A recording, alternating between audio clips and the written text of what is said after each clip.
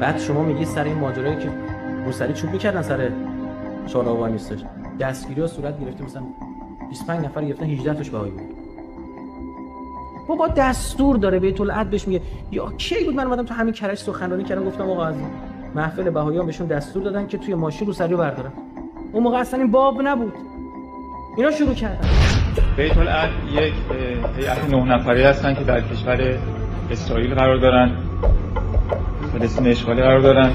این هیئت تمام تشکیلات جامعه بهایی رو در اختیار دارن و هر گونه دستوری که اونا صادر کنن جامعه بهایی و بهاییان باید رعایت کنن اونو و اونو گوش بدن و طبق اوامر اونها عمل کنن و در انتخابات دهم این دستور دادن که باید شرکت کنید و با توجه به اون ما به طور جدی در انتخابات دهم چه در انت... های انتخاباتی شرکت می‌کنیم. به نفع یکی از کاندیداهای مورد نظر. در روز آشورا من از طریق سه تا شبکه شبکه بی بی سی انگلیس شبکه صدای آمریکا و رادیو فردا مطلع شدم که قرار تجمعی در روز آشورا انجام بشه. محلهای تجمع رو می‌دونستم.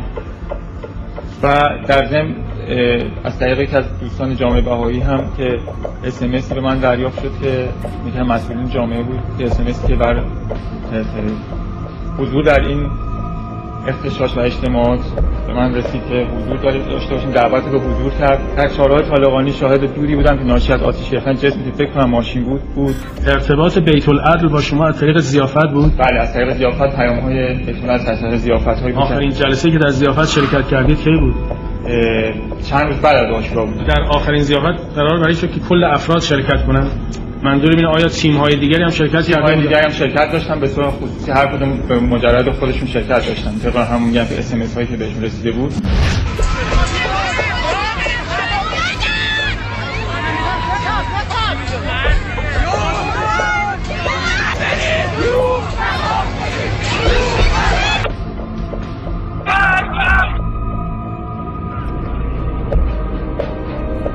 دیدارم با بهایی داشتین که خیلی جنجال درست کرد. آره دیدار خیلی داریم. پدرتون, پدرتون کنم مخالف این داستان بودن.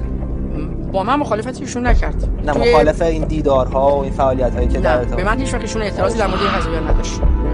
توی تلویزیون یعنی در واقع در چیز عمومی گفت که فایز اشتباه کرده ولی به من هیچ وقت اعتراض مستقیم نداشت شما چیکار می‌کردین اینجا؟ آقا یاسر هاشمی پسر اکبر ببینیم چی نوشته؟ نوشته که یاسر هاشمی و دخترش لیلی هاشمی ساعتی پیش در مقابل بیمارستان کسرا محل بستری شدن مرحوم محسا امینی بازداشت و دقایقی پیش آزاد شدن. امان از دست این بازداشت ساعتی. چرا آزاد شدن؟ کیان اینا؟ ما چه گناهی کردیم مردم ایران از دست شما؟ خاندان هاشمی. چیکار کنیم؟ چه گناهی کردیم؟ بابا بابای شما یه زمانی یه کاری بوده. ده برابر اون بیشتر به مملکت آسیب زد. شما اون از اون داداشتون که توه. شما نباید حرف بزنید راجع به این اتفاقات. اون یکی رئیس چیز فرمانده ناجا استعفا بده. آقای رئیسی استعفا بده. بیا بالاتر. آقای خامنه‌ای استعفا بده. چرا یه نفر سکتی خدا رحمت